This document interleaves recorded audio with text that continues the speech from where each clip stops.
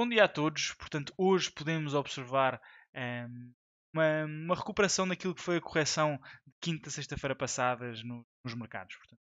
essa forte correção tem vindo também a ser aqui apontadas por vários analistas como uma correção saudável, uh, uma vez que também a trajetória dos próprios índices acionistas estava, estava demasiado íngreme e por isso uh, muito insustentável e portanto esta, esta correção que se passou veio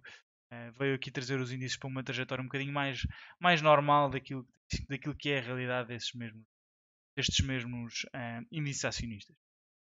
E pronto, e isto também acontece num dia em que temos bons dados a sair para, para a China, portanto a balança comercial da China acabou por superar uh, todas as expectativas, muito aqui à boleia de uma subida das exportações, e que também acaba por revelar aqui uma, uma recuperação do resto do mundo, Uh, muitos países, especialmente aqui do mundo desenvolvido, acabam por importar uh, da China, ou seja, contribuindo para as exportações chinesas, levando então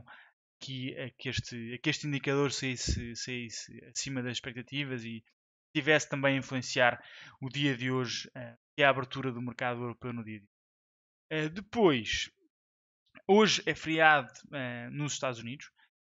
e por isso pode ser que, que, que a sessão não tenha tanta volatilidade como,